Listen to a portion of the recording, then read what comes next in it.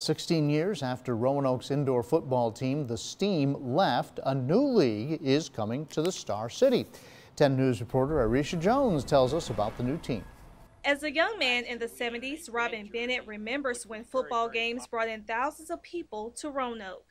I remember when I was a young child, the Roanoke Buckskins at Victory Stadium, where uh, my sister and her husband used to take me to the games. And I mean, there was actually 15 to 20,000 people there. So, you know, people love football.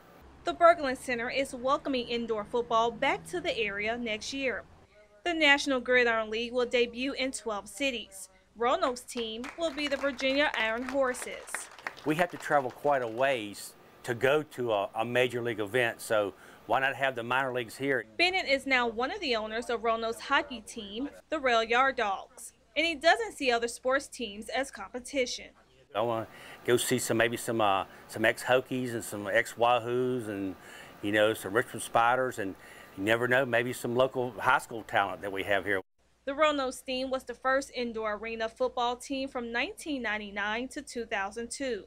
Landon Howard says sports is growing in Roanoke and Virginia Blue Ridge. Last year we had 189 sporting events and tournaments. This year in 2018, well, well over 200. He and many others at the team announcement are ready to give arena football another chance and believes it will be supported in the area.